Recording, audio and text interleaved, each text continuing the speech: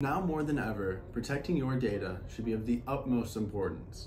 That's why for Cybersecurity Awareness Month, we're sharing 10 best email security practices you can use at your organization to protect your data. We'll share what email security is and why it's so important, how email encryption works and how you can use it at your organization. And of course, we'll be talking about the importance of finding internal communication software that is secure and compliant.